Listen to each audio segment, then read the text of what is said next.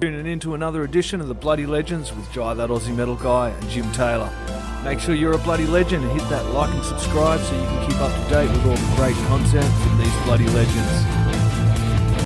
G'day, how are you all There- going? there It's go. Jai, that Aussie metal guy here with the Bloody Legends podcast. And for that, I have my awesome co host, Jim Taylor, JB Taylor Music. Jim, thank you so much for joining me today. Thank you, tonight, man. The Bloody Legends we have are Suffer the Evenue. We have Jay, aka Jay Sunken. And can I do it? El Gran Oso, aka Dom, in to Yep, talk about all things Suffer the Evenue, Wonderful. including their forthcoming EP, Superdeader, which is volume two. Pardon me. Superdeader comes out April 12th. Cheers for joining us, guys.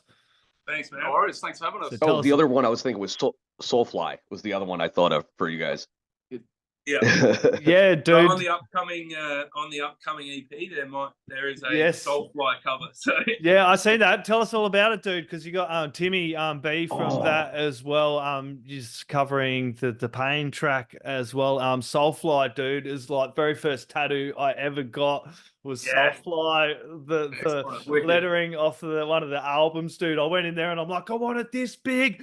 On my Yeah. fucking chest, and he's like, "It's gonna cost you this much," and I'm like, "Just put it this big on the top of my arm there. It's all this just, big. just, just right Come there." on, yeah, uh, dude, Tim, Tim channeling Max. Wow. Mm. Wow. Yeah. It is wild.